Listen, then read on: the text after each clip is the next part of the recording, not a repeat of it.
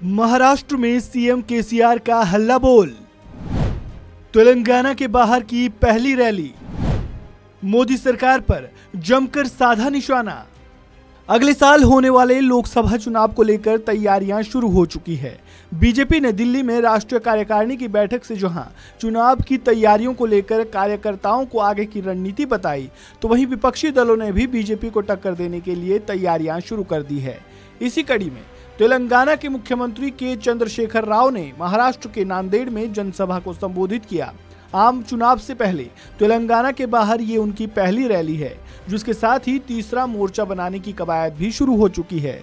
उन्होंने कहा कि ये दुख की बात है कि महाराष्ट्र में सबसे ज़्यादा किसान आत्महत्या कर रहे हैं।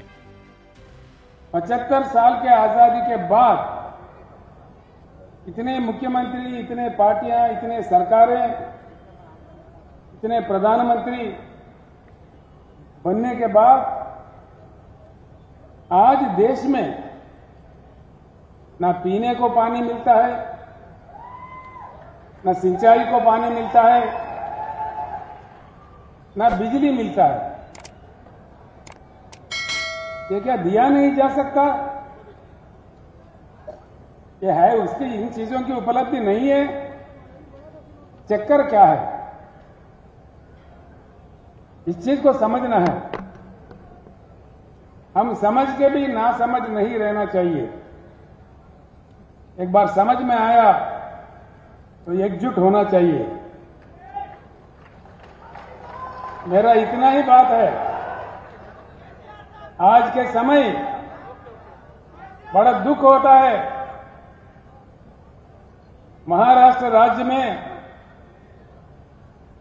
सबसे ज़्यादा किसान आत्महत्या कर रहे हैं। क्या कारण है? क्या बात है? दया करके सोचिए। नांदेड़ में जनसभा को संबोधित करते हुए केसीआर ने कहा कि राजनीतिक दल और नेता चुनाव में जीत रहे हैं, लेकिन लोग हार रहे हैं। इसलिए बीआरएस का नारा है, अब की बार किसान सरकार। अगर हम एकजुट होते हैं तो ये असंभव नहीं है, केसीआर ने कहा। अब हमें राष्ट्रीय स्तर पर जाना है। अब एक बड़ा बदलाव चाहिए। कई लोग आते हैं और लंबा लंबा भाषण देकर चले जाते हैं। मन की बात करके चले जाते हैं। पचहत्तर साल बाद भी देश को पानी, बिजली नहीं मिल रहा है। देश में खाली भाषण चल रहा है। किसान पर कोई ध्यान नहीं दे रहा है। आपको बता दें कि महाराष्ट्र के नांदेड़ में केसीआर, भारत राष्ट्र समिति के बैनर तले रैली कर रहे हैं। केसीआर की इसके बाद देश के दूसरे हिस्सों में भी रैली करने की योजना है। इस खबर में फ़िलहाल इतना ही। ताज़ा अपडेट के लिए बने रहें वन इंडिया हिंदी के साथ।